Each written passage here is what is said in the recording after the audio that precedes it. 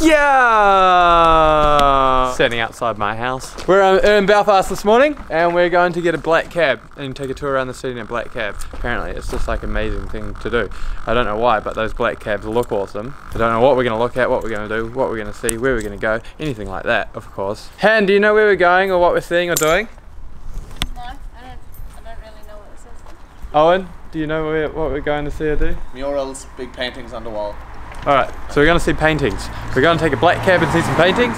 Apparently it's really, really good fun, so we'll see. We start to. Oh, oh shit.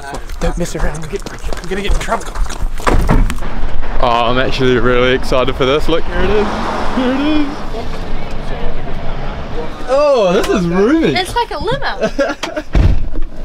I've always wanted to actually go on one of these cabs. I like, they they're were the coolest things you've seen them in England, eh? The first peace wall that was built was built between these two areas, but then we continued to build them for the next 35 years. Almost 90% of the people who live here have never crossed over to here. They've never set foot in the other side. People don't cross over, not because it's dangerous, but because it was dangerous. You see the soldier with a gun? Well, you notice he's not white. Yeah, well, soldiers, 97% of us here are white or Caucasian. The last was 94, and the last one done six and a half million pound worth of damage. Shankill Road is Northern Ireland's largest Protestant community. So people that live here, there's nobody called Owen lives here. Is it spelled E E O I N or O W E N? King of England becomes Catholic. He was called James Stewart, and becoming Catholic wasn't a smart career choice, Hannah. So Billy comes across and defeats King James in the Battle of Battle of the Boyne. The celebration of it is the Protestant version of St Patrick's Day. July 12th starts with a series of little bonfires. Do you like bonfires? Mm-hmm. Holy shit. That's in the middle of this. So it's literally in the middle of the neighbourhood. In the Oh my god. UDA, UFF, they're normal men and women like ourselves who set up defence committees as a means to protecting our neighbourhoods. People were shit scared. First parts of the concrete It was built between 1969 and 1971. That right there is from a petrol bomb that was throwing from there. It's nuts. Gonna ride on the peace wall hand. We gotta make peace between Northern Ireland and the Republic of Ireland. What are you gonna write? Uh, I'll probably just write World Nate. Like and subscribe. This is absolutely crazy, especially coming from coming from little old New Zealand. As I was gonna say, this is gonna be hard to turn into a video because there's so much to take in. Yeah. Well, it's just crazy coming from New Zealand where we don't have any problems. We're all like peace, love, and harmony. We don't have any neighbouring countries or anyone that's trying to like blow us up. So, do my little piece, of, my little bit of peace. You can't remember how it goes. I was gonna do the, I was gonna do the Mercedes sign.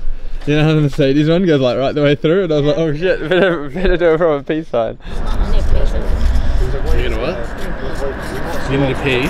Write that on the wall. Anyway, Matt's breaking the law. This is a big wall. This is a big wall. oh my god.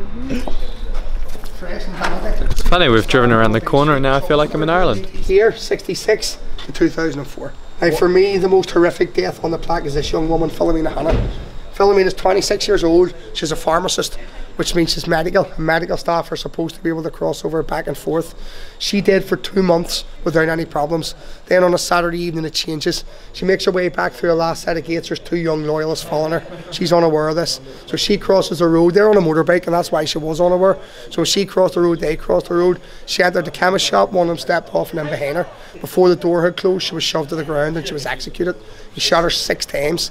Over the top of her, put five bullets in her face and then once in her chest to finish her off.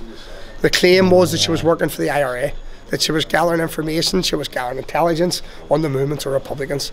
They'll use bean bags, they'll use like buckshot, multiple hits, you know, or small balls, but that's what they're using here. Do they still use it? This one they're using.